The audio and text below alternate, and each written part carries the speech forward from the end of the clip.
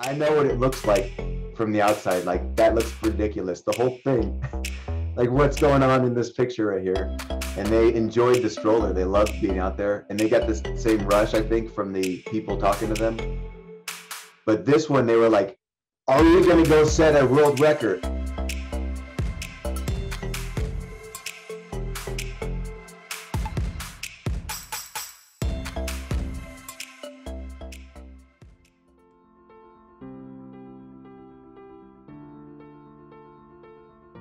So Amy uh, carried them for 27 weeks and three days, and they were all born about two and a half pounds each.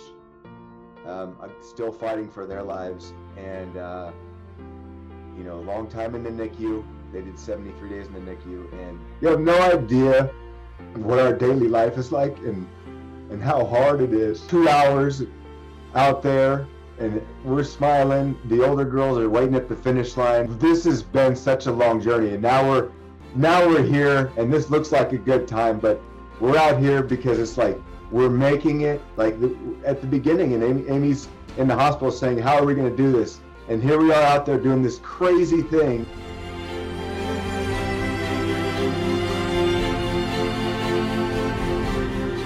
We set the, the record for the full marathon.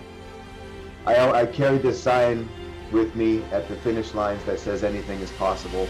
Because we really want the kids to grow up thinking that. Like I didn't grow up thinking anything is possible. I saw things that I thought, man, I, I would love to do that, but I just can't do that.